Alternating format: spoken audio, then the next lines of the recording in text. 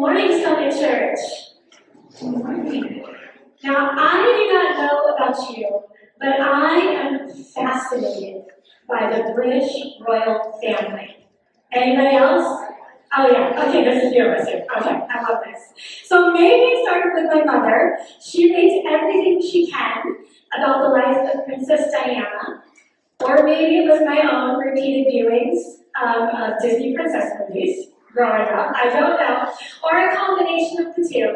But somewhere along the way, I became highly invested in all things royal. When asked who I would have lunch with, because I was asked this question, if I could pick anyone in the world alive right now to have lunch with, I did not even have to think about it. My answer would absolutely be Catherine, now the Princess of Wales. I just admire her so much. I appreciate her grace, her dedication, her commitment to her role within the royal family. And I'm not gonna lie, I scoped out some of the same tennis shoes that she wears in some of her photographs. You can get them on Amazon. They are in my cart as we speak. Sweetie, my birthday's coming. But when I traveled to England with on a school trip, I went a couple years ago with my oldest children, we visited Buckingham Palace. And while we were there, the flag was raised. And we know what that means, right? It indicates that the queen was in residence. So I thought, I'm here. I am with the queen. I mean, a courtyard and a palace separates us, and yards of security, and she has no idea where or that I'm standing outside, but I'm telling you, she is right there, and I am right here. And this, people, this is a moment. And yet, despite everything that may seem like it's just right on the surface, there has to be some tough stuff. There's tough stuff in everything. We know that Prince Harry's autobiography was just released. According to the Guinness Book of World Records, sold more first day of release copies than any other nonfiction book in history. And there's a lot of he said and she said. But crisscrossing all of it is an overwhelming sense of hurt and pain. And we don't know the details. We don't need to know the details. But from an outsider looking in, like I am, trying to peer through the windows of Buckingham Palace, there's a lot to be seen, and a lot of that is hurt. Whether it's warranted or not is not the issue. The fact is that it's there. And maybe you and I, we haven't written a tell-all story. Maybe there's no media sensation. Maybe no one even knows what's happening in our world or in our sphere but us. But it's very likely there's places in our lives where we are processing we're dealing with, we're navigating, and we're mitigating hurt. And everything that that entails.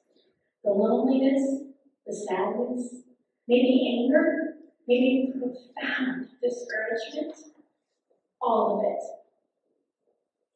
And no matter where the hurt originates, we know that it just, in a nutshell, it just states an ongoing situation, or a comment, innocuous or intended, that cuts us to our core.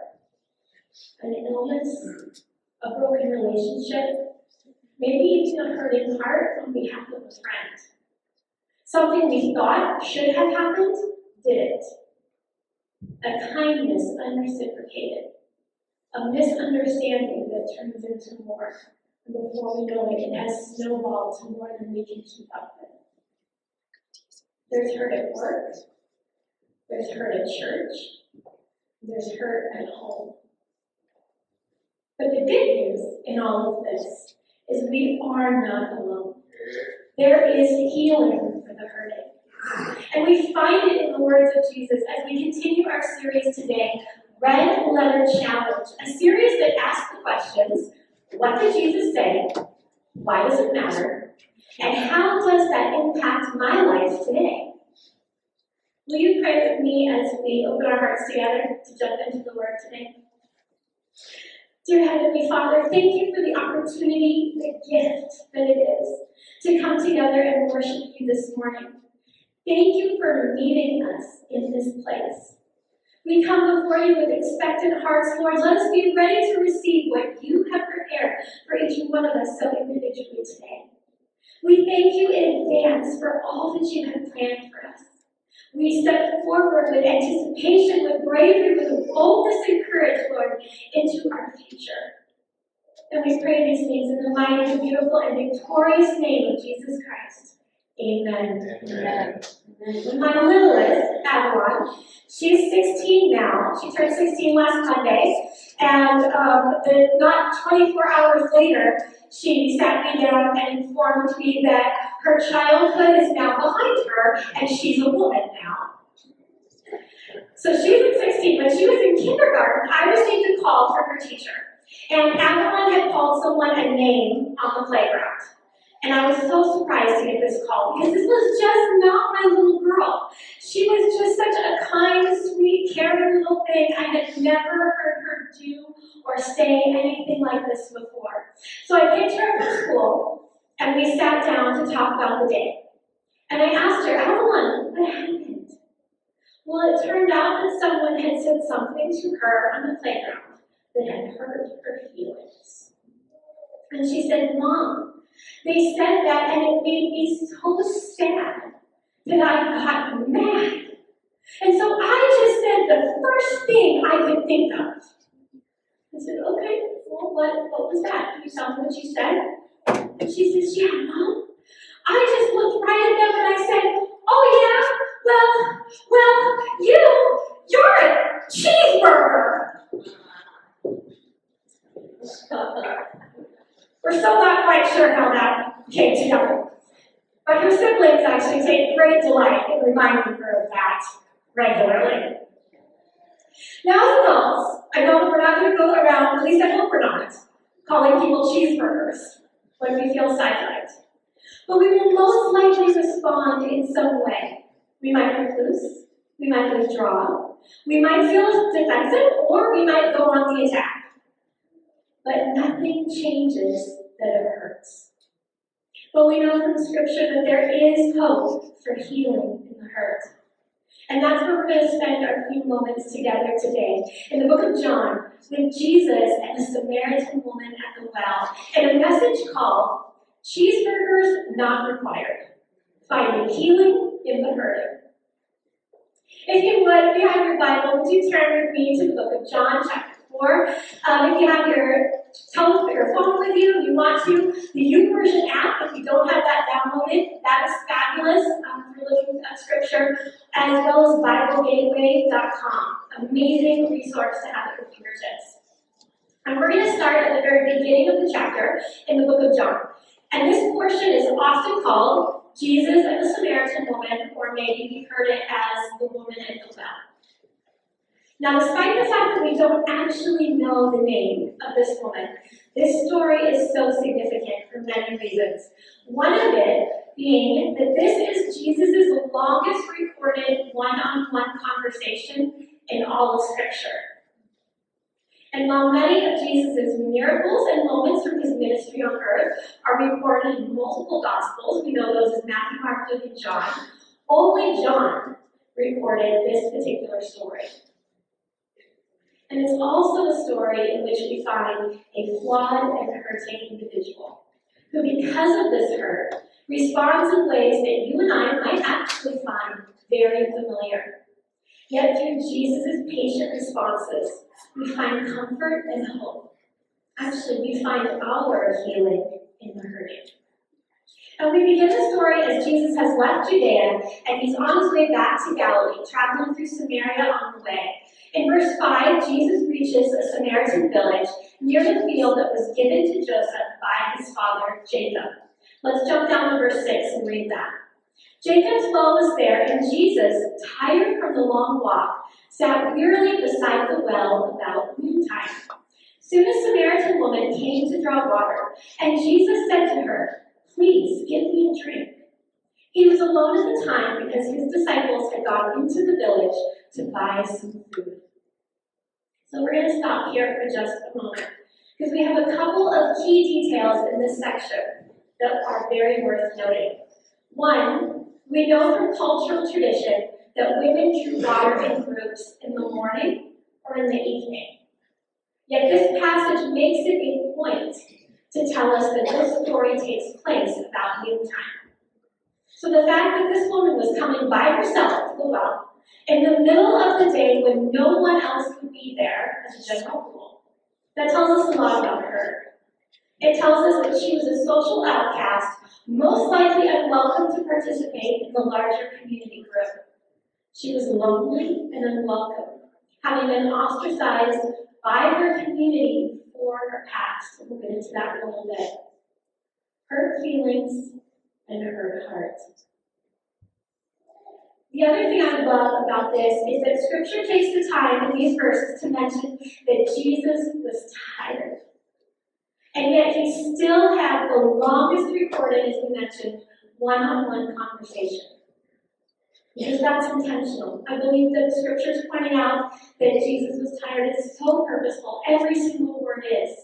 Because it reminds us, because sometimes we just need reminding. We know it, but sometimes we just need reminded that there will never be an impediment to receiving Jesus' time, energy, or attention. In fact, we know he waited for the woman to arrive at the well. We, he knew she was coming. We know that he did.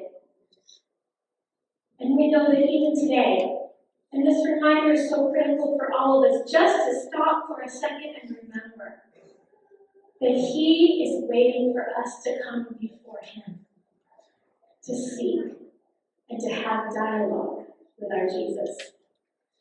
Because too often, and I'm so guilty of this, we try to fix things on our own. Or we think that this hurt, this feeling is actually, well, okay, the whole grand scheme of the universe, it's probably really not that big a deal. So maybe just a little small for Jesus' time right now.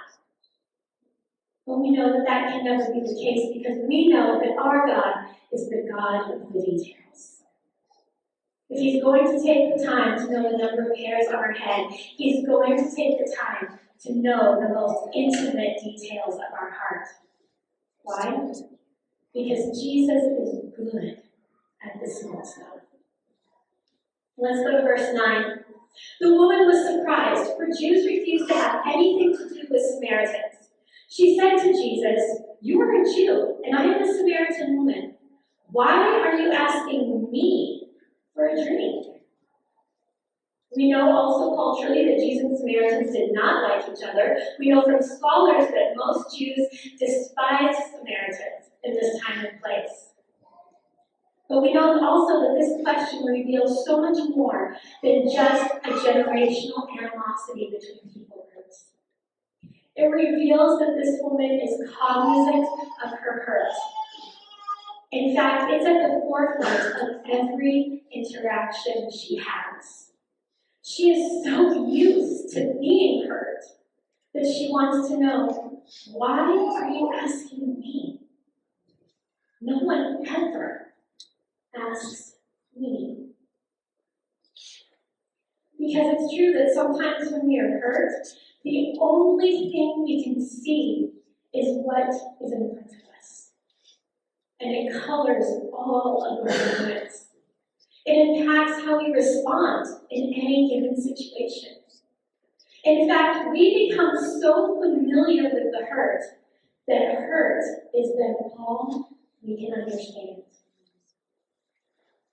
You know, Brene Brown, she's an incredible professor and author. She writes, a deep sense of love and belonging is an irreducible need of all people.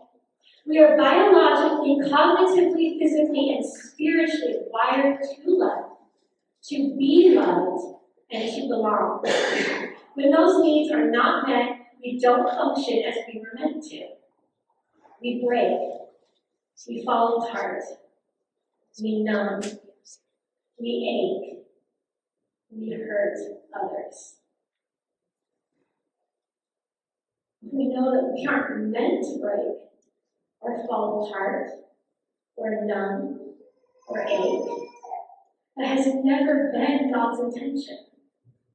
And how do we know that? We actually know it from the very next verse, verse 10. Jesus replied, If you only knew the gift God has for you and whom you are speaking to, you would ask me, and I would give you living water. If we only knew the gifts that our Heavenly Father has prepared for us. Because do you think it's true that sometimes do we forget who we are speaking to? The Maker of heaven and earth. Because it's true that we often put our limitations that we see in ourselves and in people, we ascribe those to our Heavenly Father. Rather than do the opposite and place God's lack of limitation on ourselves or on the people around us. We get that backwards as humans a lot. And the question is, how much freedom would we walk in if we could flip that around? And when we look at ourselves, we're hard on ourselves, let's be honest. When we look at ourselves, we would see the expanse of opportunity and potential and purpose and vision that our Heavenly Father sees. And the same for everyone that He has so intentionally placed in our life because not a single person is there by accident. Amen. And I'm including going to the grocery store. Every single person we meet.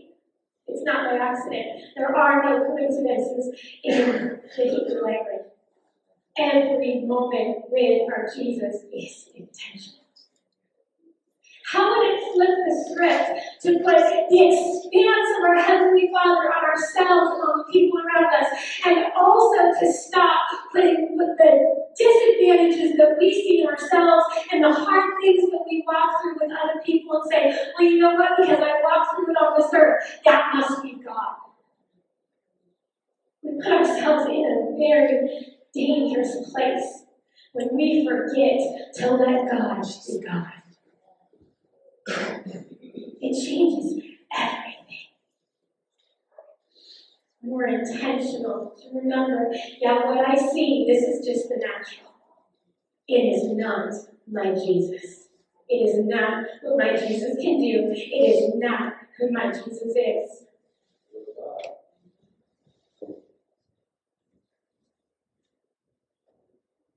There are no limitations to Jesus or his healing. We know from Scripture, over 6,000 of them in Scripture, promises that he will do what he says he will do. He will change for victory what he says he will change. And, church, if he says he's going to move the mountain, he is going to move that mountain. Isaiah 65, 24, Isaiah is my favorite book in the Bible.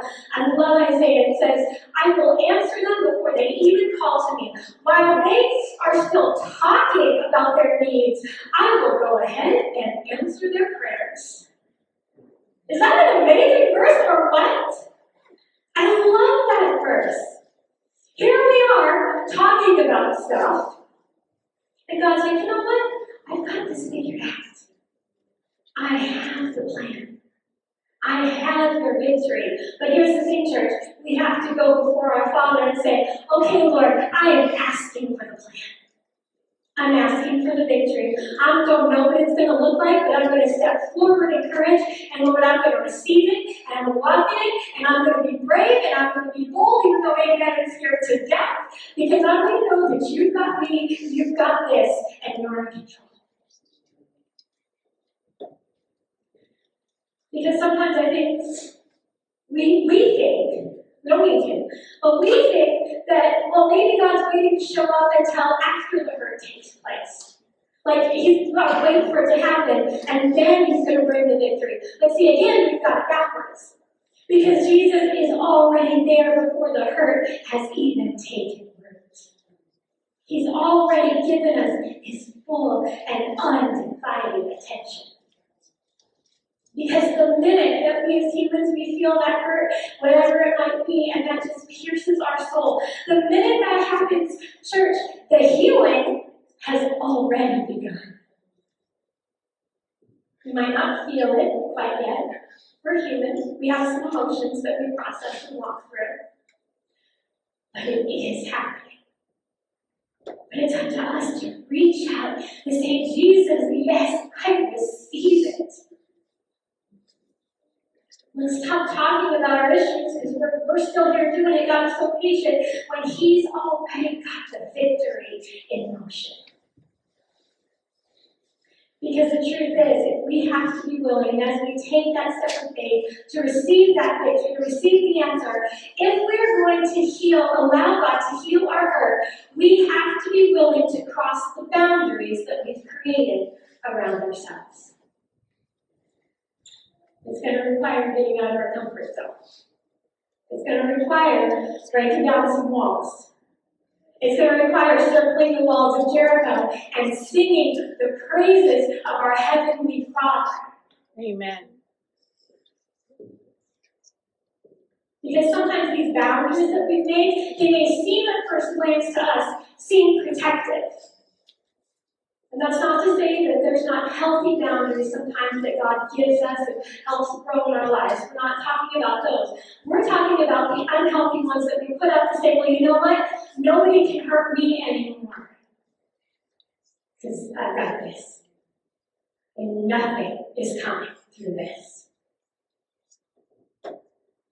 Well, when nothing is coming through this, we're not walking out of it into God's victory.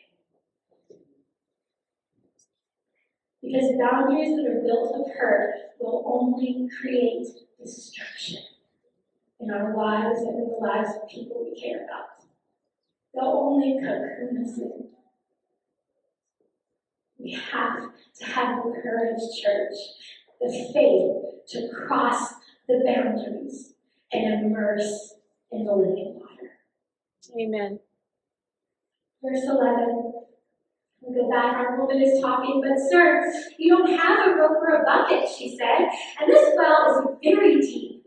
Where would you get this living water? And besides, do you think you're greater than our ancestor Jacob, who gave us this well? How can you offer better water than he and his sons and his animals enjoy? And I love this scripture because it's just so real, because it reminds we know that doubt and discouragement are real things. And yet we know Jesus, we know, reading this story now, we know Jesus is talking about complete freedom. And the woman is wondering where the literal rope and bucket is going to come from. But we get that. We don't fault her for that. Because we can find ourselves in the same place. I know when I'm in the middle of a tough situation and my responses are fragile, I tend to focus on only what I can see in front of us, in front of me. I'm thinking, okay, Lord, okay, but I'm not seeing the rope in the bucket. I'm just, I'm just focused on this little piece in front of me. Because I'm losing sight of the vertical view, the kingdom perspective. Because it's true that we can get so focused on the how Jesus is going to do what we've asked him to do that we lose sight of the truth that he will. And that's when Jesus is so good to remind us of our future, to remind us that He is good and He is faithful, and that yes, He heals in the hurt. Verse 13, Jesus replied, Anyone who drinks this water will soon become thirsty again. But those who drink the water I give will never be thirsty again. It becomes a fresh, bubbly spring within them, giving them eternal life. And I love this because this is the difference between human and Jesus, between our perspective and his. Because we're talking about our problems, while Jesus is focused on our hope, our future, and our eternity with Him. Because we know, don't we, church, that we look at our lives from beginning to end, but we know that our Jesus, with that vertical view and that kingdom perspective, He's looking at the eternity. and walking back to where we are today to say, come on, we can do this. We've got this. I've got you. I love that in most instances in the New Testament, the word hope is the Greek elpis. There is no doubt attached to the meaning, the Greek meaning of this word, no doubt at all. It cannot live in the word hope. Therefore, we know that biblical hope is a confident expectation or assurance based upon a sure foundation for which we wait with joy and full confidence. In other words, when we have our hope in Christ Jesus, there is no room for doubt. I also love the imagery that Jesus used here, that of a fresh, bubbling spring, because it brings to my mind the word pictures of new life, of health, of nourishment, of vitality.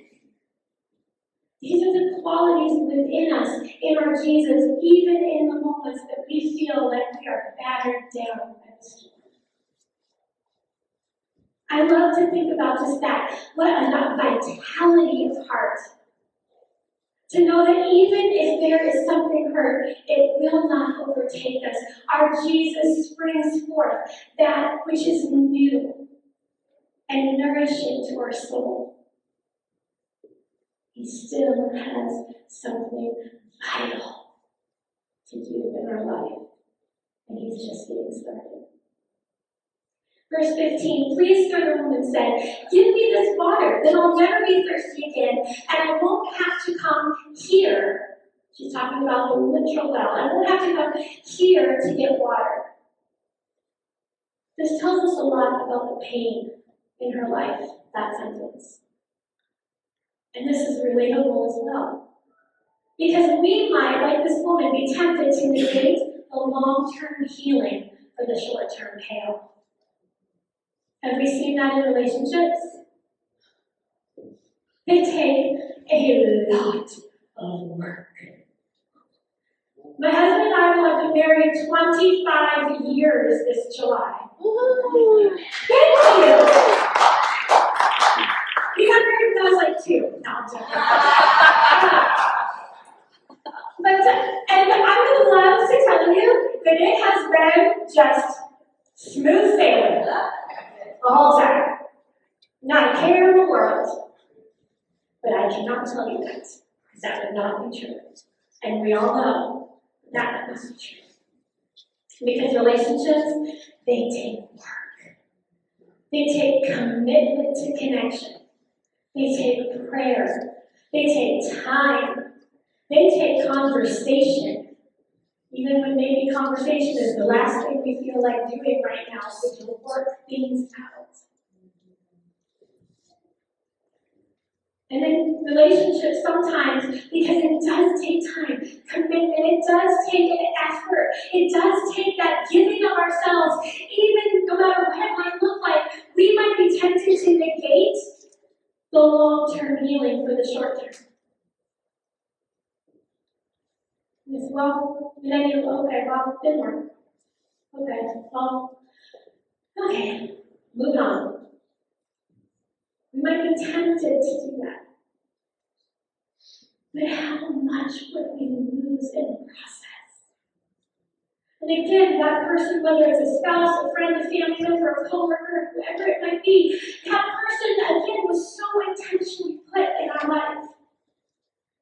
So what are we negating by saying, you know what, it's just easier in the short term to just say, not today? What are we missing by not sticking it out and walking it out? Yes, walking through the hard things. But we do it because we hold on to the promise of the future. The other thing I love about this, this little piece is one verse. It's just one verse that says so much. Notice too that she has doubts again. Jesus has been encouraging her, teaching her about the living water, and yet again she's like, I don't know. I, I, does that mean I don't have to come here? Because here is hard. And I love that Jesus continues to encourage her and speak life into her. And that is so encouraging to me. Because it reminds me that Jesus never gives up, even when we stumble in the healing process. Because it's true that a hurt, but might be on the situation, it can be sown very deep. It might not heal all in one day. You know That's okay. This is where we give ourselves the grace to have patience with ourselves and to have patience with the process. Because it's true that Jesus, He's got the pacing down. He's got this figured out. He's got this plan. He's got it in the palm of his hand. We're good. Because God is good. And God is faithful. Amen. Verse 16, Go and get your husband, Jesus told her. I don't have a husband, the woman replied. Jesus said, You're right, you don't have a husband. You have had five husbands, and you aren't even married to the man you're living with now. And this explains the ostracism from her community. And then Jesus says, You certainly spoke the truth. But the thing here, this is not accusatory. In fact, this is spoken in love because what Jesus is saying right now is, I'm telling you, woman at the well, that I know your past and I am here for your future. There's no secrets with our Jesus. We might want to think that there is because maybe there's a little shame and guilt mixed in, but there are no secrets. He knows everything that we're feeling or enduring or walking through or hoping for. And you know what? No matter how rotten we might about it or how rotten we might think that makes us, it doesn't impact who we are in our Jesus' eyes. Because he still fights for us. We are still his kid, created in his image, a victorious, chosen people. Amen. Let's jump down to verse 23 where Jesus responds. But the time is coming, indeed it's here now, when true worshipers will worship the Father in spirit and in truth. The Father is looking for those who will worship Him that way. For God is spirit, so those who worship Him must worship in spirit and in truth. To worship in spirit and in truth. We know that to worship is to adore to adore our Father in our desire to honor Him, in our commitment to spend time in prayer, listening to His voice, studying His Word, to trust Him enough to allow Him the room and the space to heal us, even in hurt. You know what that is, church? That's having the courage to get out of our own way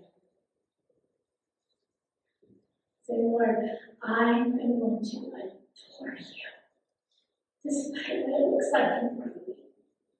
Lord, I am going to say, You are good and you are worthy of praise, even if I don't necessarily feel like my life is praiseworthy right now.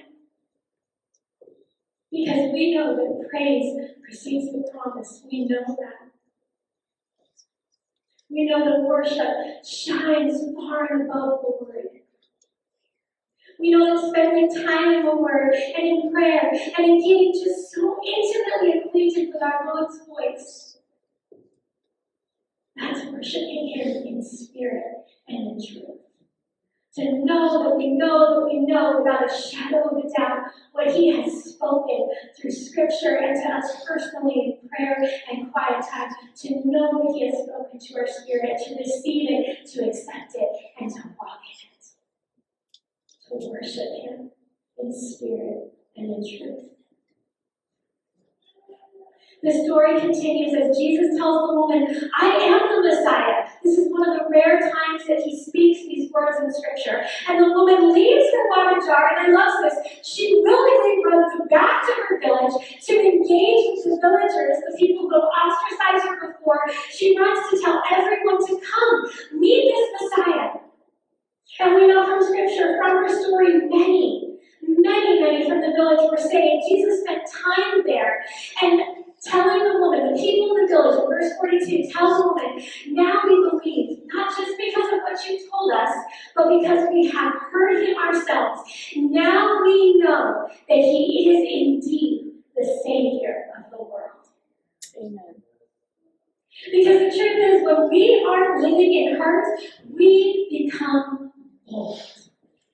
Bold in faith and bold in action. This woman who didn't even want to get water at the same time as her fellow villagers is now telling them with joy the story of the Messiah, becoming the first evangelist that we see in Scripture and changing the trajectory of lives throughout her entire community. So the question is as we close, what boldness would be present in our lives if we weren't bound by hurt? If we were healed in the hurt? What would God be loosed to do through each of us? To bravely and boldly accept His healing.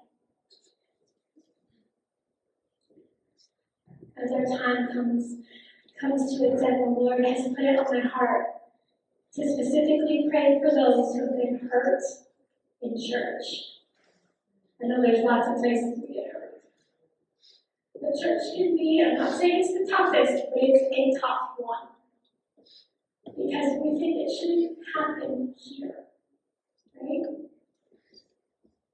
But the truth is, this building is not the church. God's people are the church. Amen. There are people, That know from firsthand experience, for me, I'm messy. I don't get everything right. And sometimes things, we don't get things right together in the church. It's a place where we do get hurt. It's a place that I was hurt in church. The Lord laid it on my heart to just share this story, this testimony quickly. I shared it about three years ago, so some of you may have heard it, some of you maybe not. But I believe that the Lord said to share it today. Um, I grew up in church and in faith. And I just believed who my Jesus was from the time I was a very little girl. But that didn't mean that there wasn't stuff that was hard and stuff that got in the way in my life. And when I was in my young 20s, married with some three little kids at that time, three of our five, I had some real doubt moments. So much so that I I just I didn't go to church. I just I wrestled too much. I'm like, Lord, I can't even I can't even go to church, Lord. It's just hard. Just trying to figure this out. And this went on for a couple years, and I know just precious people were praying for me. My husband, who had just recently accepted Jesus Christ as his Lord and Savior, and he was praying for me at that time, and he was going. And I know from those prayers, the Lord put a tug on my heart. The Lord said, You need to go. Just, you need to walk, have the courage to walk into the doors of the church building and to service. I'm asking you to just do this, this one thing. I want you to do this. Is it okay, Lord? So there was a, team service on Sunday night, and there was actually it was it was a it was at this house, but before we were summit in a different building. And, and a team service. My husband was going to be there. Um, the, the youth pastor was going to be leading worship and, and the message. I thought this would be great. I could go with the kids. Um, and I, I can pay Lord, I can do this. So that night, the doors opened, we came in. Um, the service had already started. Um, praise and worship was beginning. The youth pastor was on the stage, kind of like is now, right here, up here, playing his guitar and leading in worship. And I came in the back and, just sat down in the back row with our three little ones I didn't want to be disruptive, but I knew the Lord had told me to be there. I wanted to be obedient despite the doubt. And we sit down, and my husband's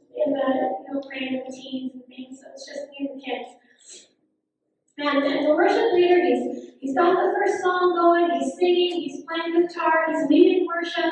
All of these teenagers are singing and worshiping, and he happens to look up and look right back at me. And he stops singing.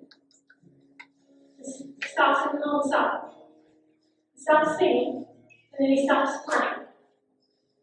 And course, no one knows quite what's happening, so the whole room kind of filters down a quiet murmur, and suddenly just complete silence. And the youth pastor put his guitar down next to him. He walked down the stairs of the stage. It's just a couple of stairs. He walked directly down the aisle straight to me, stood in front of me, looked down at me and my three little precious kids.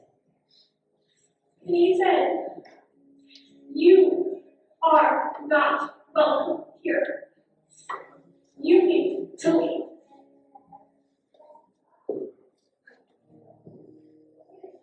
And so I got up with our three little ones. We walked out the door of that church. Because actually this, this church where it was.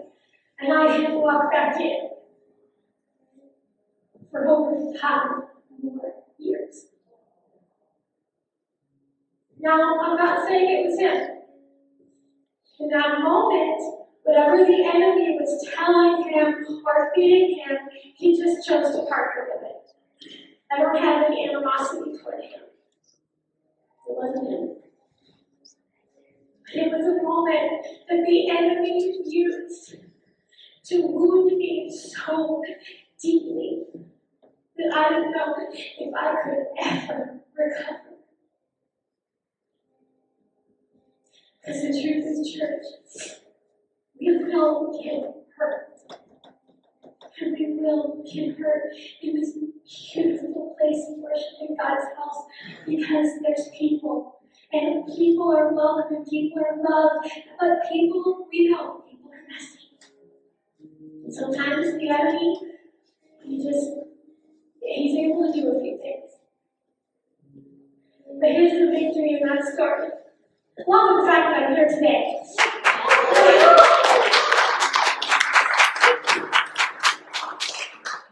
Is that for those five years, I know that there were men and women of God who were praying for me. Faithfully, who were showing they loved me and that Jesus loved me through them in tangible ways, through meals left on the doorstep through at winter time, a whole bag full of just winter, wonderful winter gear for my kids. Just over and over and over, God used these little moments to remind me that He loves me.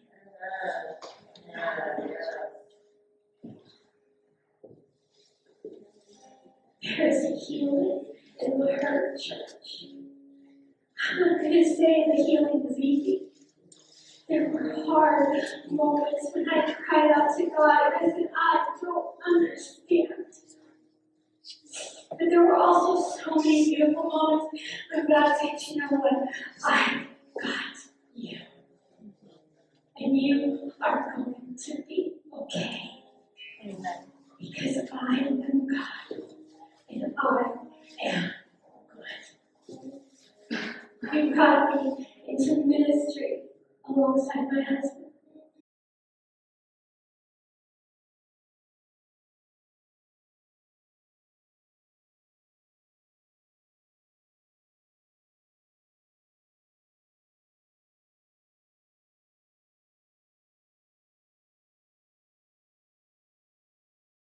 He brought breathing test, walking, breathing test.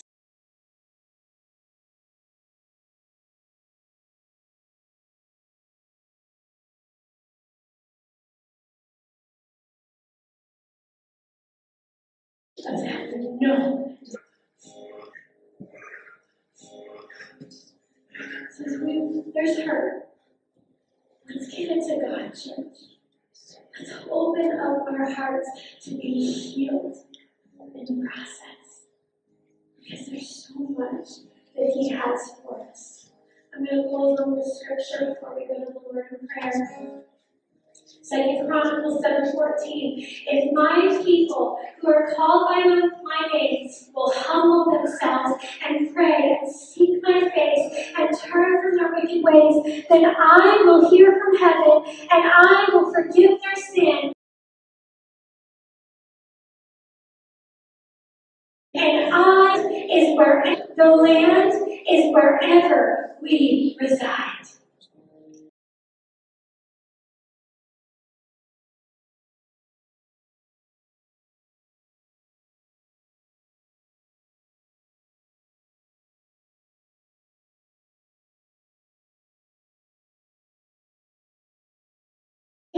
If there is hurt in our heart, because there is hurt in our heart, and that is where we have set our tent. We have set our tent on a place of hurt and pain and sorrow. Lord, the word said, He said, I will remove that pain, I will remove that sorrow, I will replace it with joy and gladness because it is my promise that I will heal your land. Amen. If